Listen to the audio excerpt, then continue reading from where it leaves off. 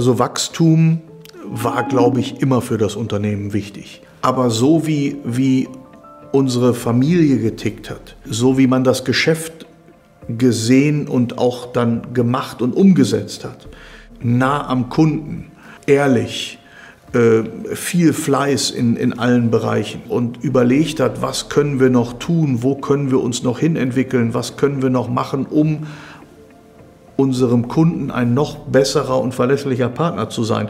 Das hat dann eben zu diesem Wachstum geführt.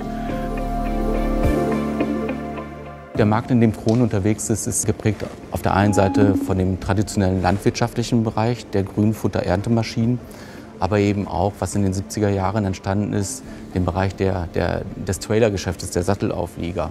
Insofern haben wir zwei sehr, sehr große Sparten eines gesamtheitlichen Konzerns, die auch separat betrachtet werden müssen.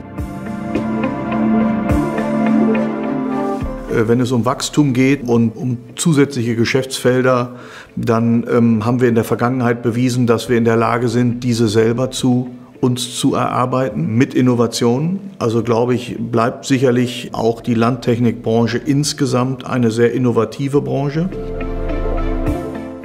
Krone ist in der Lage, Trends von morgen zu erkennen. Krone investiert zielgerichtet in Forschung und Entwicklung, um eben einen Mehrwert, Komfort für die Abnehmer zu schaffen.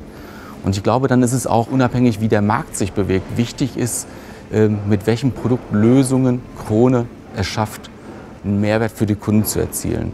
Und das ist das, was Krone auszeichnet und was, was ein Geheimnis des Erfolges ist. Wir sind Futterernte-Spezialist. Unsere Kunden sind viele Milchviehbetriebe. Äh, da müssen wir natürlich schauen, was gibt es da für interessante Möglichkeiten der Portfolioerweiterung. Das kann ich mir gut vorstellen. Ich kann mir auch gut vorstellen, dass wir ähm, in Richtung Startups äh, wachsen, dass wir in innovative Technologien oder Plattformen investieren. Wir reden viel über Digitalisierung, über veränderte Märkte, über den Trend Ernährung, äh, Wachstum der Weltbevölkerung. Also wird Krone gerade in dem Bereich ähm, noch stärker darauf setzen müssen, was eben die Ernteunternehmen, die Lohnunternehmer brauchen. Die brauchen digitale Lösungen, die reden über autonomes Fahren, die reden über, über ein hohes Maß an Sensorik. All das, was es eben ermöglicht, sehr, sehr effizient und kostengünstig landwirtschaftliche Prozesse zu, zu ermöglichen.